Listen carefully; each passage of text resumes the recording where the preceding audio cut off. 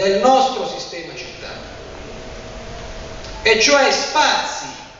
straordinariamente strategici che per troppo tempo sono rimasti di risulta senza una vera e propria vocazione. Un altro elemento che mi ha sorpreso, non lo conoscevo, lo diceva Massimo Luciani ieri, è che per densità di abitanti la nostra città in realtà è la sesta città in Italia. 3.491 abitanti con una densità abitativa superiore a città come Roma. E quindi in realtà una realtà metropolitana che se anche non lo è per estensione, lo è per definizione, lo è per, per presenza di popolo, per manifestazioni di bisogni e facciamo tutti insieme che questa manifestazione di bisogni, che oggi è una criticità, si trasformi nel tempo in opportunità, in occasione per coloro che hanno scelto di viverci in questa città, 3.491 persone per chilometro quadrato. E allora porto, aeroporto, trasporto metropolitano pubblico, dice questo, questo rapporto. Lo stato dell'arte lo conoscete, io non ci rientro,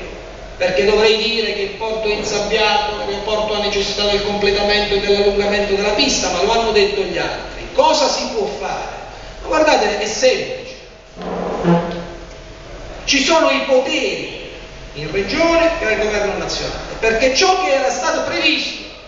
e magari qualche volta anche stanziato, e penso all'allungamento della pista e al piano regolatore portuale, tornino ad essere priorità dell'agenda politica, istituzionale e delle rappresentanze sociali e di categoria. Perché poi ha voglia di dire che quando viene Berlusconi in Abruzzo Chiodi l'accompagna come se fosse un hostess, ma quando si va sul banco del governo nazionale, in un tempo in cui le risorse sono limitate, bisogna avere la chiarezza degli obiettivi, bisogna capire che cosa si va a chiedere. E io credo che chiedere per pescare che si confermino questi impegni già assunti a livello di indirizzo dal potere governativo costituisca, come dire, la porta di accesso a che lo sviluppo possa iniziare. C'è poi l'area strategica, in una città che D'Alfonso definisce come un letto a castello, perché lo spazio non lo abbiamo, dell'ex Covo, unita all'area di risulta degli ex serbatoi di Properzio, un'area sulla quale già c'è un indirizzo di pianificazione urbanistica da parte del comune di Pescara, un'area che deve creare, dicono i redattori del progetto, questa logica di waterfront, di legamento con l'acqua, che deve essere un grande spazio urbano ma anche al servizio delle attività ricettive e centro di servizi integrato. Io, a me non interessa come amministratore pubblico chi ci entra in questo progetto. La Camera di Commercio, ben bene, non è un problema tanto rimane sempre al potere pubblico, al palazzo di città il potere di indirizzo. E quindi che sia un altro ente pubblico, l'interlocutore va molto bene, non va bene. È anche evidente però che dentro, e questa è stata l'intuizione del Partito Democratico, questa opportunità si cala per definizione ad esempio lo strumento della finanza innovativa europea. Perché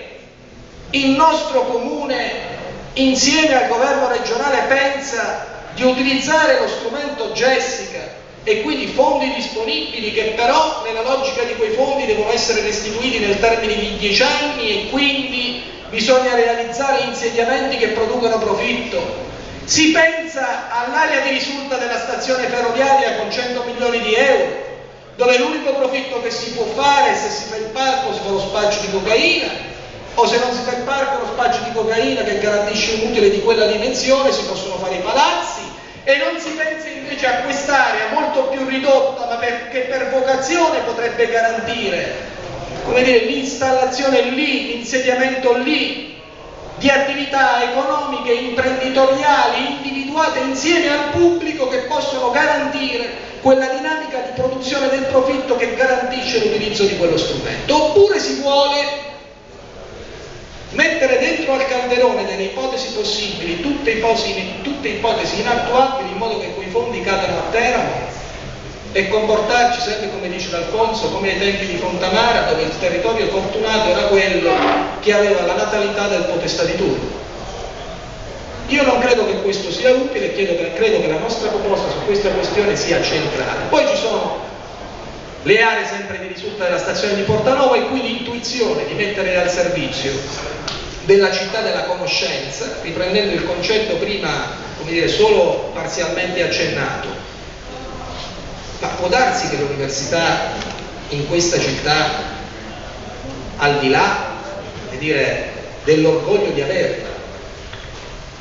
costituisca solo un elemento che produce problemi, problemi di parcheggio, problemi di governo degli affitti in nero agli studenti, problemi di realizzazione delle aree dentro fazzoletti di terra. Ma quando la cominciamo a, a buttare dalla finestra questa logica provinciale secondo la quale ciò che è opportunità altrove diventa un problema qui, ma è possibile che il potere pubblico, ma anche il potere privato dell'imprenditoria e il giacimento culturale dell'università e delle scuole superiori di questa città si mettano all'interno di un circuito virtuoso in cui tutto ciò che accade è coordinato, concertato e può costituire occasione per tutti. E allora chi meglio dell'università può realizzare lì un polo della conoscenza o degli ordini professionali della Casa delle Libere Professioni e a fianco i palazzi della regione e l'ultimo tema che tratto e veramente ho concluso, la zona franco-urbana. Non si realizza per un decreto. A fare un decreto ci vuole Pina Fasciani che ha fatto l'onorevole, lo sa, credo che un quarto d'ora, 20 minuti siano sufficienti per approvare. Il decreto attuativo per la zona franco-urbana è pronto in bozza sul tavolo del ministro Tremonti da maggio del 2009. Personalmente Gianluca Musili, non so se è un reato, non ha una copia. Perché me l'hanno trasmessa e io me la sono letta.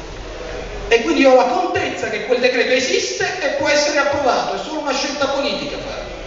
E allora insieme all'università e alle scuole, perché lì? Diceva il rappresentante del governo di Loreto, ma c'è la speculazione edilizia, insomma noi non vorremmo. Allora perché lì non ci mettiamo un incubatore di impresa insieme alla Casa Professioni? E c'è un sito dove oltre alla formazione di qualità oltre alla selezione delle idee imprenditoriali di giovani pescaresi enormi, come diceva Di Costanzo, che possono avere la qualità del successo imprenditoriale e quindi vengono selezionati a monte, si realizza anche la disponibilità di spazi a costi concordati, calmierati nella fase della start-up delle imprese che riduce anche il problema della distorsione della concorrenza e della speculazione edilizia su quelle aree, che comunque in qualche misura si è già realizzata attraverso l'incentivo fiscale prima promesso e poi non realizzato. Io veramente la finisco qui perché credo che l'illustrazione sia stata già troppo lunga ma rappresenta una pagina di buona politica questa. E noi consideriamo Partito Democratico di Pescara questo punto di partenza buona politica perché ci permette innanzitutto di concentrarci e di produrre le idee D'Alfonso ieri diceva, quando non ci sono le risorse la ricchezza viene dalle idee. E la buona politica è quella che produce le idee, è in grado di comunicarle.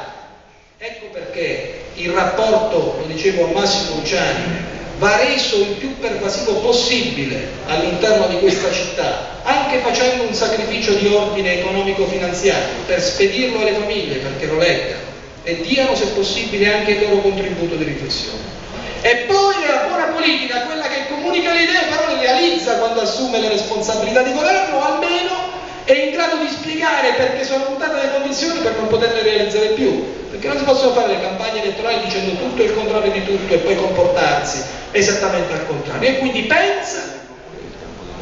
dice tutto quello che pensa e fa tutto quello che dice. Io vi ringrazio molto anche per l'attenzione che mi avete dedicato, spero che questa occasione sia veramente, come dire,